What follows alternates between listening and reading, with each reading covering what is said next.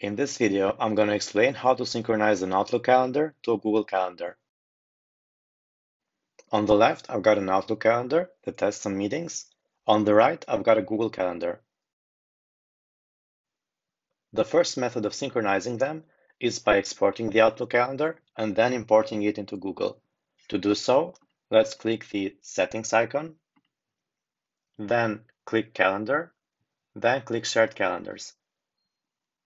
Then find a Publish a Calendar section, then select a calendar to publish. After doing so, select Permissions, can view all details. After that, click Publish. We should copy the ICS URL displayed. After copying the URL, we should paste it under Google Calendar. Open Google Calendar, then under Other Calendars, click the plus icon, then click from URL. Paste the URL we copied from Outlook. Then add calendar. The calendars are now synchronizing. As we see, the meetings are synchronized and every meeting on Outlook is displayed on Google. This method has two issues.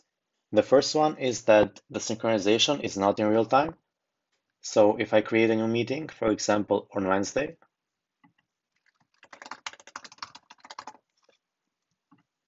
it might take 24 hours for this meeting to be synchronized to Google. And sometimes it just won't work. The other issue is that if a coworker creates a meeting using a Find a Time feature on Google Calendar, he won't be able to see the times you're busy here by the calendar that we synchronized, because Google Calendar only checks for the primary calendar's meetings.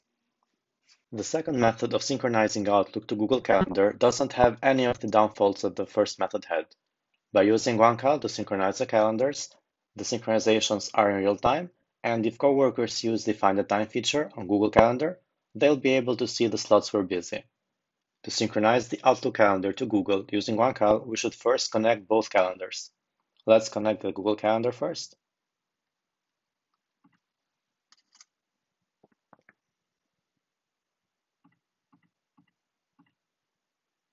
Then let's connect the Outlook calendar.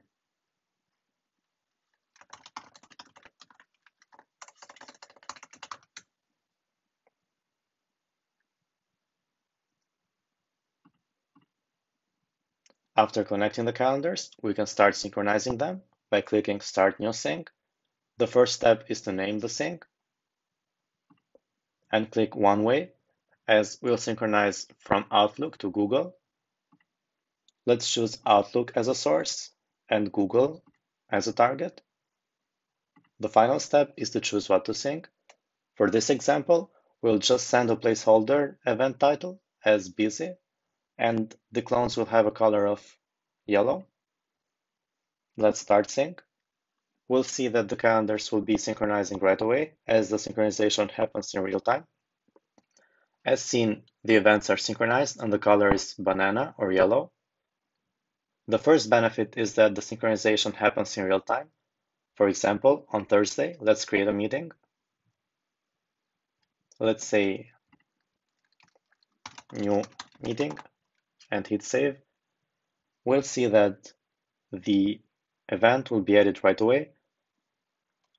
And the second benefit is that if coworkers use a find a time feature on Google Calendar, they'll be able to see the busy slots as we are synchronizing the meetings directly and not to a shared calendar.